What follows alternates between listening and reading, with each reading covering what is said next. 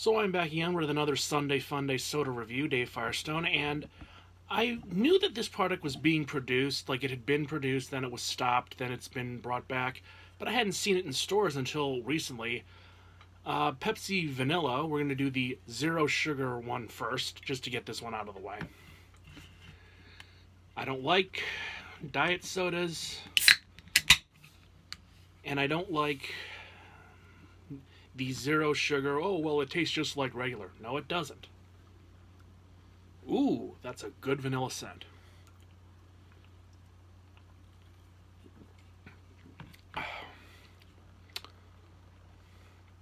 I'm actually enjoying this.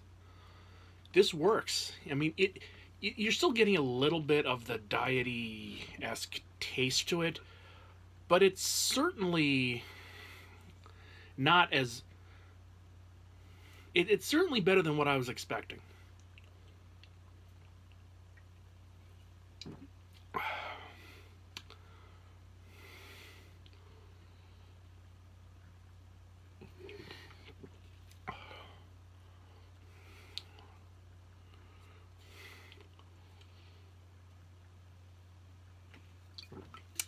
So yeah,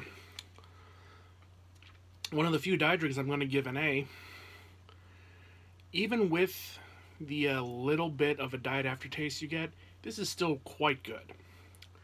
I'll be back soon with the regular uh, one for next week. Dave Firestone. See you then.